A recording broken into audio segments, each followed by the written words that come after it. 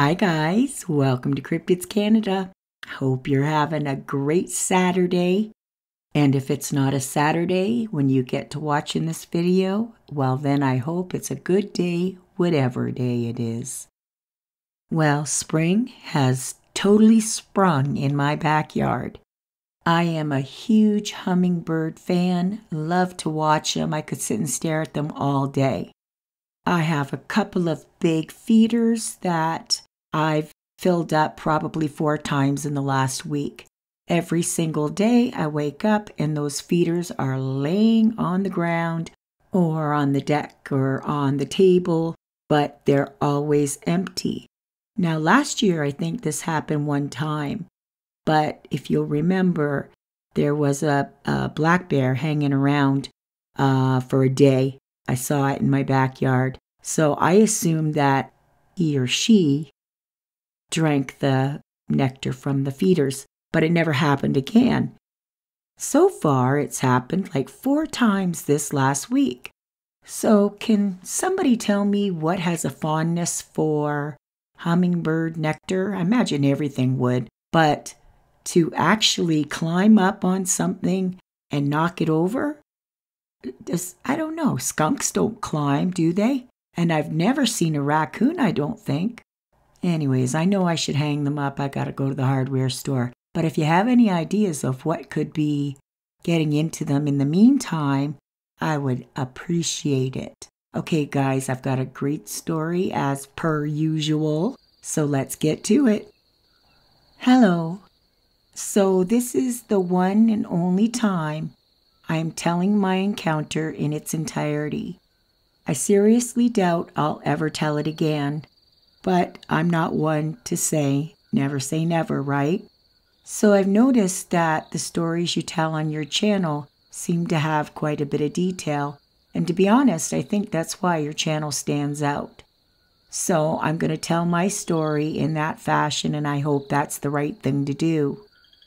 Okay, so I had married my girlfriend back in 1999. We were both 23. A month later, my grandfather passed away.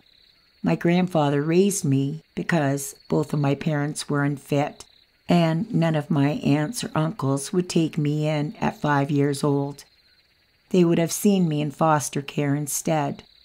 So my mother's father, my grandfather, took me and he homeschooled me till I was in junior high.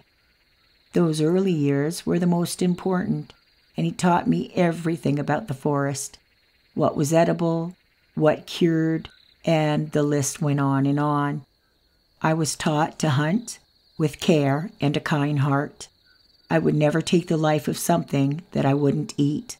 And when we fished, we always used barbless hooks, so that if it was a fish we couldn't keep, we could at least let it go without tearing its mouth up to set it free. Also, I was taught keep my hooks clean and sharp so as to cause as little pain as possible, and same with my arrows. So, as much as I enjoyed spending all my time with my grandfather, I started showing interest in normal school and kids. I had no friends but my grandfather. So I was raised in Bella Coola until junior high or 10 years old or so. Then one day my grandpa said, Pack up your important belongings. Of course, I asked why, and he said, We're going to my other home so you can go to school. Well, I couldn't backtrack fast enough, but even Grandpa thought it was time. So we went to Lillooet, BC. It was just as beautiful as Bella Coola, but it was bigger with more people and bigger stores as well. Also, more girls, lol. That's also where I learned Grandpa had money, and that besides the cabin, he had a nice home in Lillooet. So right away, they skipped me ahead two grades, and Grandpa said, No, that's enough. He's here for the social experience as well. So, as I mentioned, my grandfather passed away unexpectedly a month after I married my wife, and he left me everything. I was blown away by how much Grandpa had. But then the wolves came out. Long story short, Grandpa made it so that no one could get their hands on the money, including my wife. True colors came out, especially my wife's. She wanted a divorce because she thought she was entitled to a lot of it. I went to Bella Coola, where I was happiest and felt closest to my grandfather. We had come back and forth over the years, so there really wasn't much to do to open the cabin. There was a few canned goods, but I needed to get some food in the house. I didn't want to go to the grocery store and see people that reminded me of my grandfather. It was a Saturday morning in May of 2003. As soon as it was light out, I went to hunt. I was going to try to get a few pheasants, but I was stupid because I broke the two most important rules. One, come prepared to protect myself, first and foremost, and two, bring the proper weapon to make sure it was a fast and clean death for the animal. It was just a few pheasants, then great, but I never considered the ravenous grizzly that were just out of their dens with their cubs. And I only brought a 12 gauge shotgun, which was perfect for a few pheasants, but probably wouldn't do much good for a raging mother bear. I was deep in painful distress. I missed my wife and never even realized she could be as cruel as she was behaving so I followed a deer trail to a spot where Grandpa and I had shot some big pheasants a few years earlier. I was deep in thought, but then it occurred to me that there was something mimicking my steps.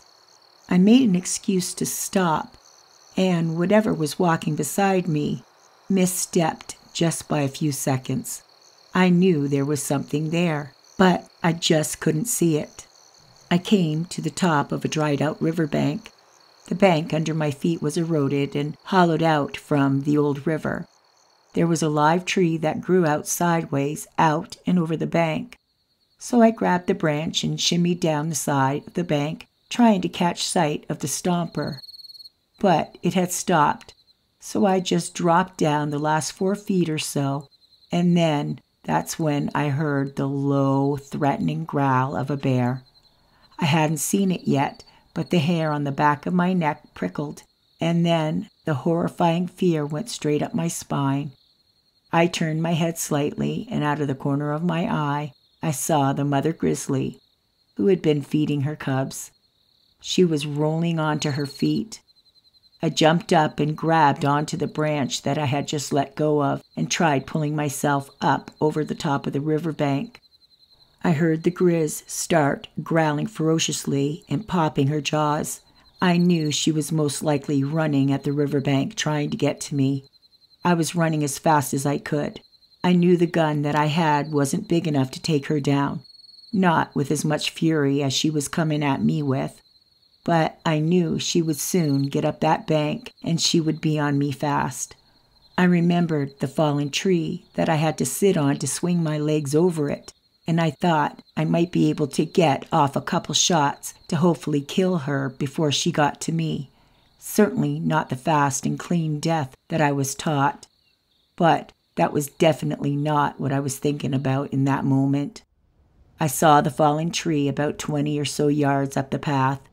I felt the ground shaking and I knew she was running after me. And then I heard a scream so intense it made my muscles seize. It took all the concentration I had to keep putting one step in front of the other. The scream was not that of the bear. It wasn't a growl. It was a deep and ferocious scream unlike anything I had ever heard before. I finally got to the log, and I certainly didn't sit and swing my legs over it this time, like I did the first time. This time I dove over it, turned around, and crouched down as I aimed my shotgun down the trail. It was only seconds, and then I heard the bear growl as she was breathing in and out. And then it made a sound as if she hit a brick wall. The growl stopped in mid breath, and then I heard that same scream. But this time I heard it also stop in mid scream. At one point, I saw a flash of black fur, but it was just a flash. There was a violent fight taking place, and I couldn't imagine that it was two bears. I took that opportunity to run as fast as I could. I heard the moaning growl of the bear and the deep and powerful scream of what I just didn't know at that time. Both were breathing and panting as they pounded and scratched and bit and fought for their dear lives. I finally got to the cabin and I pulled out every weapon and loaded them on the table. I locked the doors and shut every door separating me from the many windows that could break easily. I sat at the table and I watched the living room window. Finally, I realized I couldn't hear the fight any longer. I looked in every direction and I didn't see anything. I opened the bedroom doors and looked out those windows. Nothing. I opened the door three inches or so and I just listened. I put a can of bear spray in my half unbuttoned shirt and grabbed whatever weapons I could and I jumped in my car. I drove to the home of a native man who was the best friend of my grandfather. I could barely stand, I was shaking so bad. He invited me in and listened as I told him what happened. He nodded his head and said one word Sasquatch. I said, Bigfoot? And again he nodded. My grandfather told me that the native people of this land talked of Sasquatch being in the Bella Coola forests. My grandfather's friend told me he believed I accidentally came upon a bear fresh out of her den who was relaxing under the roots of the eroded river bed and probably scared her and the Sasquatch who had been playing with me by walking beside me, but just out of sight, decided to protect me. He said that I had to go back and kill a deer, hang it in a high tree as an offering, and I said I couldn't go back. I felt like I would be killed. He invited me to stay at his house, and he agreed to go hunting with me the next day in his woods, and then help me hang the deer in a tree by my cabin so we did just that. We hung the deer a good 10 feet up a tree and way down a branch until the branch started to bend. He also said that we had to make sure the bear wasn't dead because we couldn't just leave cubs if she was dead. I said I would go if he got his brother to go with us. Safety in numbers, you know. But luckily, all we saw was a spot about 20 feet round, all torn up broken branches, and drops of blood. We got to the tree that I had used to climb down, and we could see footprints of the bear and her little cubs walking away down the dry, sandy river bank. After I've calmed down, after calming down, I accepted that what happened to me was a blessing. And now I go to the old cabin once in a while and I appreciate all that my grandfather taught me. I hope my story's okay, even though I technically didn't see a Sasquatch. But I now have no doubt that I was spared that day because of one. Thank you for listening, Jason D.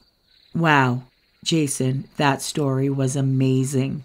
I can't think of anything else that it could have been besides a Sasquatch. Another bear would have joined in the hunt um, definitely wouldn't have protected a human from a from another grizzly for sure.